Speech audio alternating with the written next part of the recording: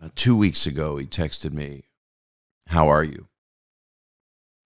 Are, are what are you doing? Are you are you uh, doing stand up?" And I answered him with you know much too many words, and then I didn't hear back. And then last week,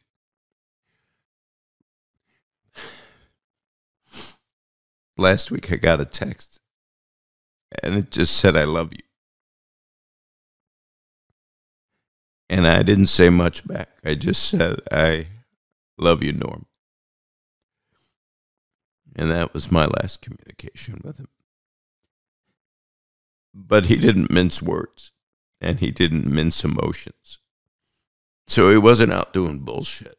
He wasn't just out to, you know, oh, here's the emotional moment in a telethon where we pretend we're feeling something so we can uh, one of the gifts of my life is that he loved me and that I loved him. Hell, I'm always going to love him. I mean, there's not another guy like this guy. You know, because so many people like pretend that they don't give a fuck. You know, both in my business and in other businesses. You got the, I don't give a fuck. Hey, you know me. I don't give a fuck. You know, those people that advertise them. Like that guy clearly, in the best way, didn't give a fuck. He really cared about people and stuff, but like, like he did what he wanted to do. And when he was on SNL, how big a gig that was, because there was so few channels, the internet hadn't blown up yet, and even with basic cable and everything, I mean, it was still. If you were on Saturday Night Live and you were doing Weekend Update, it was one of the most coveted gigs a comedian could have, and you were part of this lineage of you know at that point it was uh, you know Chevy Chase, um, Jane Curtin, right on through to Dennis Miller's reign when he did it, and you know, I did Colin Quinn come after? I think Colin came after, but it was always just like the best of the best comics that they had doing it, and continued on with Tina Fey and all of them, and no one's walking away from that job. I mean, if some suit at NBC tells you they don't like the jokes you're doing and be funnier, you know, you're shaking in your. I would, I would be. I'd be like, oh fuck, you know, I'm going to lose this big gig. I don't want to get fired. I don't want to piss these people off or whatever. I guess he was doing all those OJ jokes, and somebody, I forget how the story went. There was somebody there that knew OJ or something, and was telling him, telling Norm to back off and move on to something else.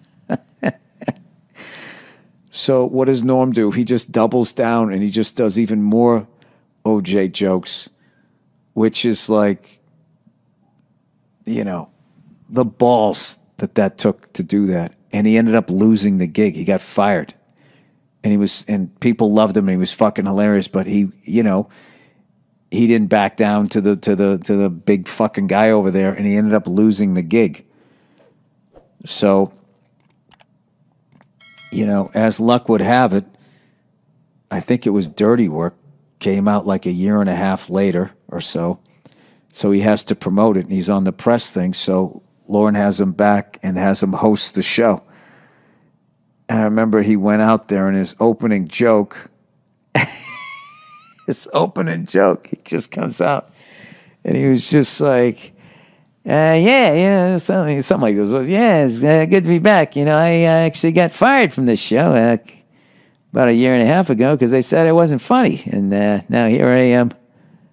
I'm hosting the show, so that means one of two things: either I got a lot funnier, or this show sucks." Well, I've had this gnawing regret uh, this last day and a half, and it's reading all this praise for Norm, which again I, I believe is completely justified yeah. and, and will endure. Um, and it's been a regret that um, he had he didn't get to experience this. You know, he took so much flack in his career. He took so much shit um, and yes, he knew that he had fans, but uh, I wish, you know, it's a common wish for people, but I wish he had been able to read the stuff that's being mm-hmm. written about him. I wish he knew how beloved he is, and also um, how uh, in awe comedians are Yeah. of, of of what he did and what he meant, and how um, you know How important he was to the people who are probably the most important people in the world to him. Yeah, You know. and he, uh, you know, I wish, I wish he knew that, and Yeah. and and that's the one regret I, I, uh, you know, he kept, he kept his illness a complete secret from everybody, Everybody. and, um, and that was his choice, and I respect that choice. See how it's done. But selfishly, for me, I wish I had had the chance, and I, I wish a lot of us wish we had had the chance to go in and tell him, Yeah. you are a singular artist, and you've really made a huge difference. And you've, I mean, if nothing else, uh, I don't, I don't know of anybody that could make me laugh like that. And, and one of the things that speaks to, you know, I, I uh, was having a conversation with um, Jim Downey, uh, and and in the in the wake of Norm's death, and Jim Downey, and I was trying to get to the what is it that made Norm so different, and he s- reminded me. He said, you know, on Weekend Update, we would do. Um, there's a dress rehearsal, which I know because I Yeah. worked at Saturday Night Live. There's a dress rehearsal, and he said the best way to test a joke on Weekend Update is at dress rehearsal. If it does well at dress rehearsal, it will do well on air. Uh, if it doesn't do well at dress rehearsal, it will bomb on air. That's that's the best way to test it. And he said that Norm would do a joke at dress rehearsal that they both loved, and it would get nothing.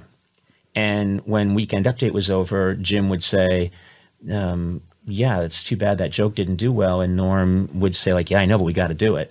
So he would do jokes Yeah. that he knew were going to get nothing. Yeah. If he thought the joke was worthwhile, he didn't give a shit.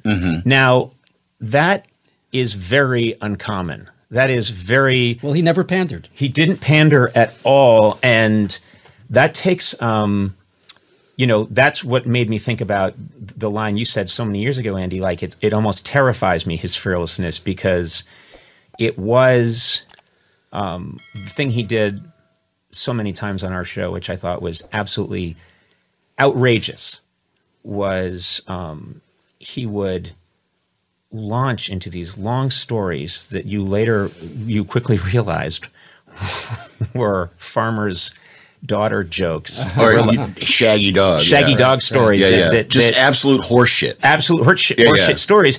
And he would go on and on and on. And I'm so happy that um, the moth joke has been getting circulated so much from our Tonight Show because it is completely outrageous what he's doing. Uh, it is, um, you know, it's it's the it's the Tonight Show, and he is telling this very long story, and he's taking all the time in the world, and I love it just because even though I was there, I'm delighted every time I see it. Yeah. I, I every time I see it, I'm delighted with it because what he's doing is breaks every rule. You're not. You're not. You, brevity is the soul of wit. That is the rule. Yeah. Keep it. You know. And man, he completely like Picasso blew up the form. He goes and he tells this joke forever and then finally gets to this punchline. And you can see that he's everyone's delighted uh, but he has broken every rule in the book.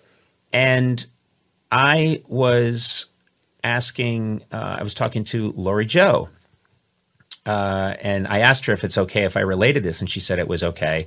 But she said that not too long ago um, someone asked norm uh, about the moth story that he told on on our Tonight Show, and that that she said what made the guy wanted to know what made you have the nerve to do that, and that he said that you know it was that goddamn Frank Smiley.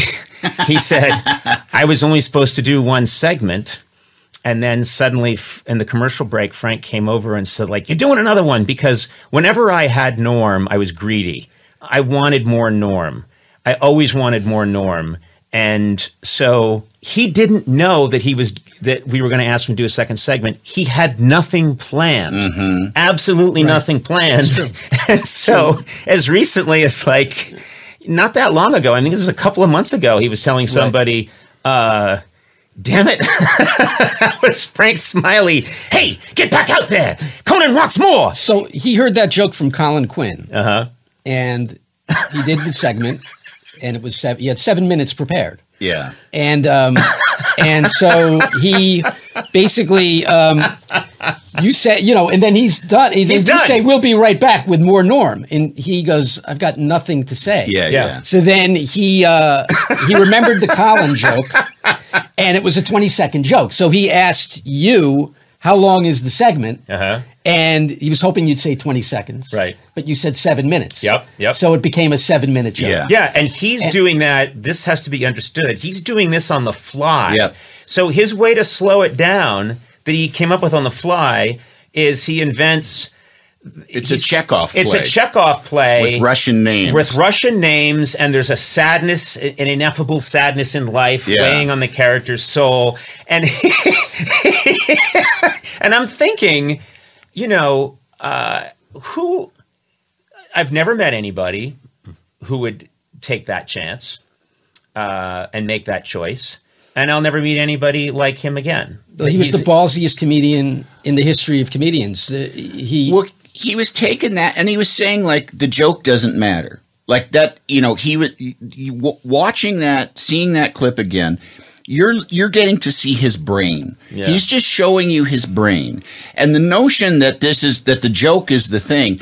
The joke isn't the thing. No, it's the journey. It's taking Yeah, a sure. stroll through this guy's brain and Yeah. hearing the choices that he makes and what he has to say.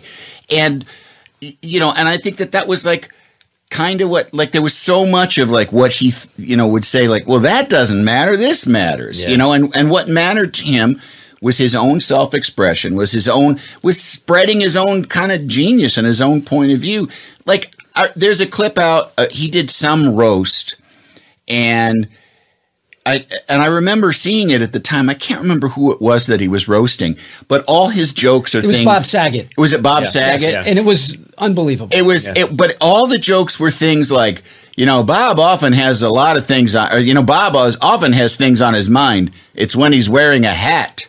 Like it was all these He dad jokes, bombed. Intentionally intentionally bombed. Right, And then I, I didn't even know this, but I remember feeling like, okay, Norm. I mean, you know, these are funny, and this is, and you're funny doing them because you can't help but be funny. But this is feels a little hostile. You know, like Yeah. why are why are you breaking from what this? You know, you were invited to a costume party and you came, you know, in a tuxedo, you know, whatever. He didn't play by the rules of the thing.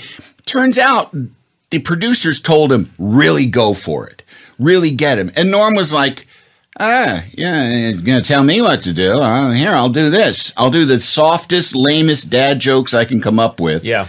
And, and it was just a fuck you to the producers. It, it was looked weird at the time. It was funny in a way, but it still was just like it was Norm doing what the what? fuck he wanted to do. it was still hilarious. yeah, yeah, And Norm is, it's like Norm couldn't not be funny. yeah.